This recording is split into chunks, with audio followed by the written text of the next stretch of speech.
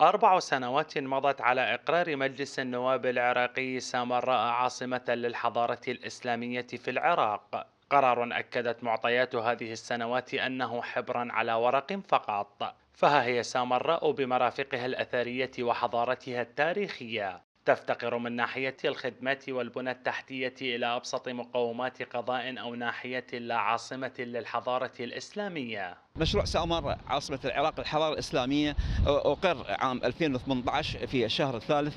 هذا المشروع حقيقة حيوي جدا ويغير معالم المدينة لو قدر له أن يعني ينفذ على أرض الواقع. مدينة سامراء بحاجة إلى الكثير وهذا القانون هو المنقذ الوحيد لمدينة سامراء من البنى التحتية وكذلك في تطويرها للمستقبل. في الوقت الحاضر التخصيصات هي غير كافية لكن تخصيصات سنوية بالاعتماد على ما سيتم تخصيصه من الحكومة الاتحادية وما سيأتي إلى الصندوق من الهبات ومن المشاركات الدولية أيضا من الدول الشقيقة والصديقة.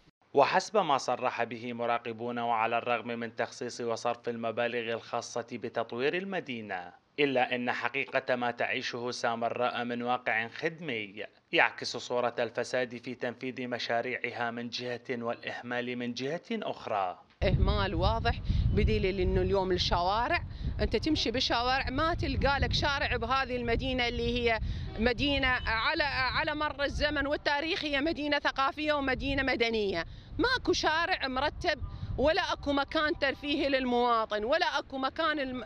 يعني يستحق ابن هذه المدينة أن يكون به للأسف الشديد بجميع مفاصل الحياة سامراء تعاني. وهل ستبقى تعاني سامراء؟ بعد إقرار هذا القانون من مجلس النواب السابق وتصديق عليه من رئاسه الجمهورية خصت له أموال. لكن الحقيقة من تجي لحد ما تنفذ أي شيء من عنده. مع العلم الأموال ما تعرف في وين راحت وين صرفت. القانون يعني بقى يتراوح مكانه. يعني المفروض للسنوات على الأقل فد بادرة شيء بسيط يعني يتنفذ من عنده أو يبين أمام الناس حتى نقول والله القانون يعني أخذ مجراه. ويبقى الشروع الفعلي بتطبيق قرار أن سامراء عاصمة الحضارة الإسلامية في العراق. مطلب عام لأبناء سامراء لما له من مردود على الحياة الاقتصادية والاجتماعية فيها. منذ عام 2018 وسامراء على أوراق قرارات مجلس النواب عاصمة للحضارة الإسلامية في العراق.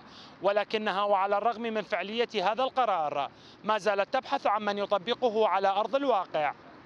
من صلاح الدين فراس الحسني التغيير.